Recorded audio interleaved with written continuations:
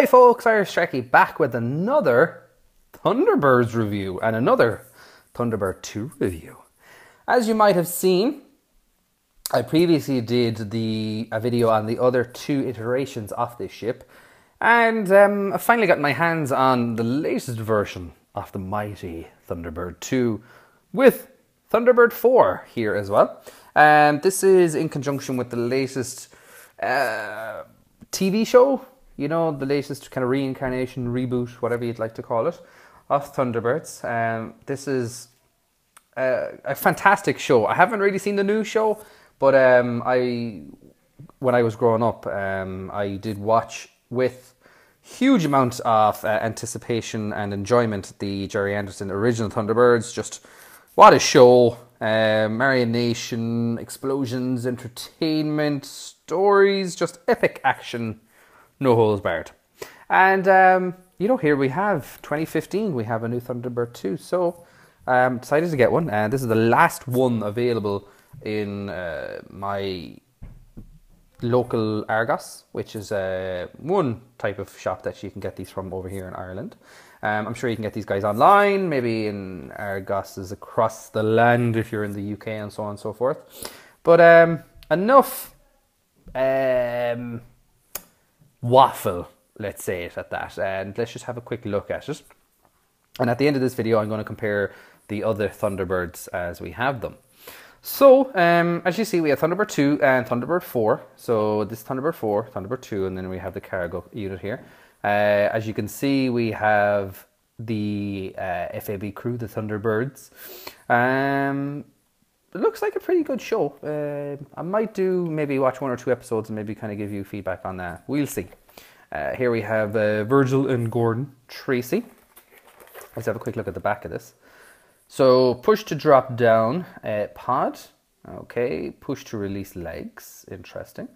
We have press for action and rescue sounds.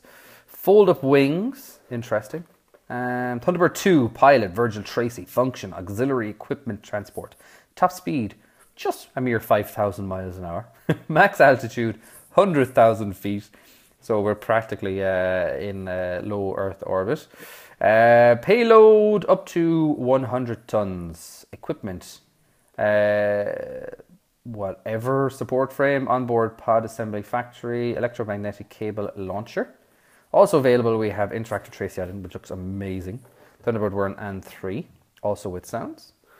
Uh, what do we have here? Uh, load and launch from Thunderbird 2 pods is Thunderbird 4. Both vehicles compatible with Tracy Island. Right, and as you can see, ITV Studios.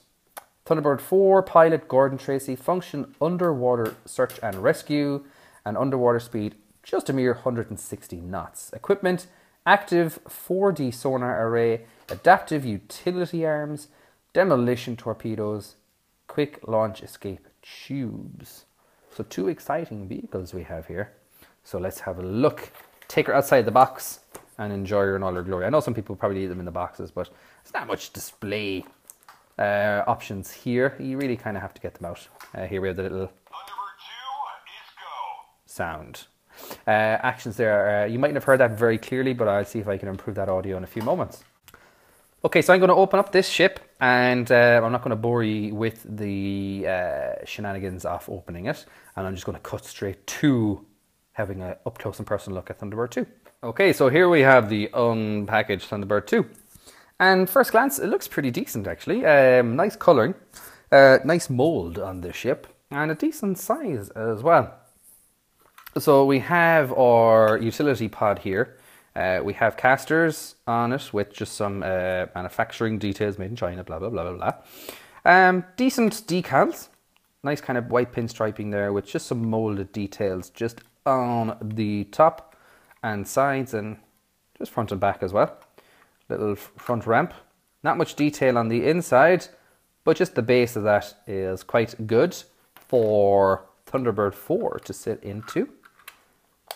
And that will sit quite nicely in situ with Thunderbird 2. Now that sits in there, a bit of a hang on it. Wish it kind of stood up in place a little bit better than that. We have the collapsible uh, wings on Thunderbird 4 as well, which is an interesting uh, point. So, I suppose easy storage on that. But let's just fold those out for the time being. Um, okay, so let's get up super close here. So the antennae uh, we have, they're not uh, symmetrical, they're asymmetrical on the front. Uh, good detail on the cockpit there, um, some nice vibrant colours on the windows. Uh, we have the action sound button, uh, leg release, so let's have a look at these. So we should pop them down. Okay. Ooh, they're pretty big legs. Yeah, pretty okay. Um, let's just go down the body of it here. Some yellow pinstriping. Um, you can see a little bit shallow the way it sits in there. That should be kind of up around there. Maybe we could kind of tweak that. Um, again, some molded details here. Um, it's kind of a little bit more matte in comparison to the original one. Uh, International Rescue decal, warning, jet blast. And we have some other kind of decals just going down the length of the ship itself. Anything on the underneath of the wings? Nope. Engines, eh, nothing, nothing that I can see. They're just kind of capped off in there. Uh, just some moulding going down the aft of the ship there as well. Those decals are replicated on this side too. And then we have some radiator grills just on the ram scoops. I would assume they are ram scoops there as well. Overall, she's quite nice looking. Let me just put these legs up here. Uh, the legs look kind of okay, I'd say. Bit of detailing along here. Be nice if there was like a guard over these or something that, like a flap that popped down and then the legs came down or something along that kind of fashion. Um, as regards to, ooh, yeah, don't know why that, that just comes down by itself. Does that go up any further? That just comes out anyway.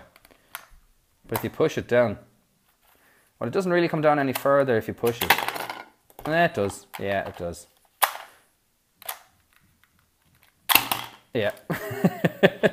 There's not much play with that, eh, is, is there? okay, so when she's on the base, uh, she can run on the casters here fairly easily. Um, there's not much else to say about it, but let's just have a quick look the legs here. How does she stand? Oh, let me get all the legs down. Firstly, all the legs are down. Okay. She sits fairly even on that. No issues there, no issues. Um, yeah, it's pretty okay. Uh, I'm not sure what these are retail in your own kind of markets, but uh, it's not too bad um, of a price, and everything seems to function fairly okay with it. Uh, let's have a look at Thunderbird 4, shall we? So let's drop the pod. With Thunderbird 2 to the side for a second. Where's our front hatch? Ah, we had it the right way around. Okay, Thunderbird 4. Um, nice vibrant yellow. So this is more of a kind of like a plastic. Uh, it's There's definitely give on this one. It's not hard plastic. And Thunderbird 4 decals are pretty good on it. Um, paint is pretty okay for the size of it. Mold is nice. I remember, I think I saw a part of like the first episode where this is all glass here as well, which is interesting, which I kind of like, you know, if you're flying over, you're looking right down and there's like escape pods on this side here. But uh, yeah, it's pretty cool. It's a pretty good looking Thunderbird 4. Again, we have some ITV Studios Limited, blah, blah, blah, blah, on that, made in China. But um, I like the kind of new style look of these ships. I must admit. But my heart does lie with the original ones. Um, so that is a nice little set, to be honest with you. I do like it. Uh, we have our drop pod, we have our Thunderbird 4, and we have our Thunderbird 2. Now let's compare them with the other ships, shall we? So, ladies and gentlemen, here we have three generations of Thunderbird 2 original. This is Thunderbird 2, mission complete. Okay. I don't know if you heard that, but uh, yeah, I was just testing the audio on it, which I'll do for you in a few moments. But as I was saying, this is the original Thunderbird 2. This is the movie Thunderbird 2, and this is the newest uh, TV show iteration of Thunderbird 2, which I have the wing collapsed up at the moment. What's your favorite? Um, this one's still my favorite.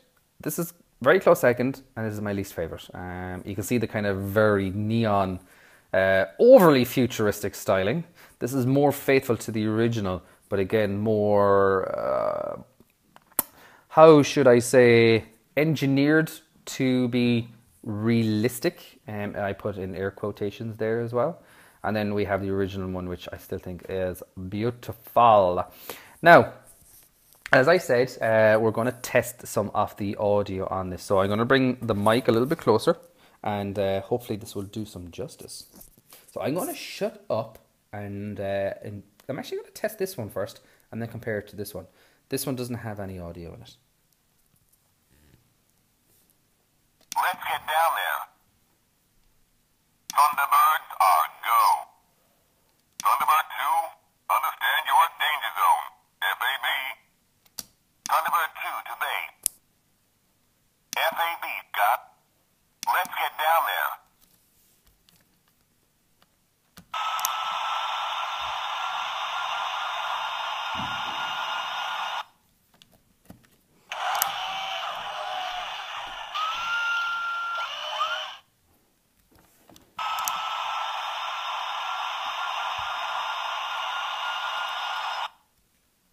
This is Thunderbird 2, mission complete.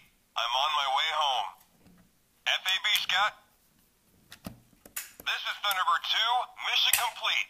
I'm on my way home.